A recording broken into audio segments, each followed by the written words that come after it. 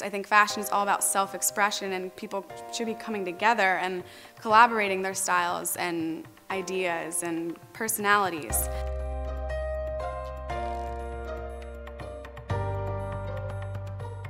I love Josh.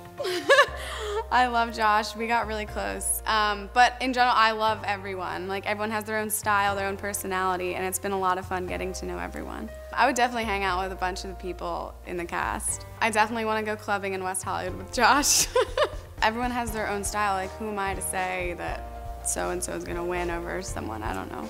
If you still want to follow up with me, you can come to Los Angeles and see me do some stand-up, or you can go to www.glamrock.com or follow me on Twitter at Leah Knauer, L-E-A-H-K-N-A-U-E-R.